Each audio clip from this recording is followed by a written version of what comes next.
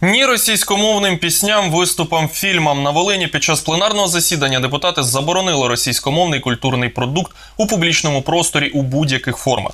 Волинь не перше таке рішення вже прийняли в Житомирі та Львові.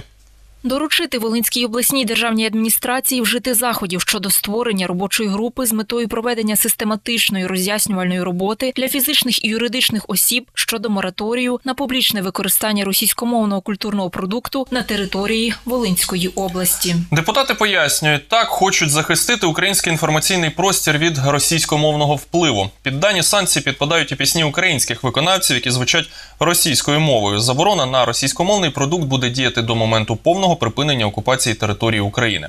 Та маємо нагадати, що правозахисники називають подібні заборони такими, що суперечать Конституції України, мовляв, порушують права російськомовних громадян України всіх споживачів російськомовного культурного продукту.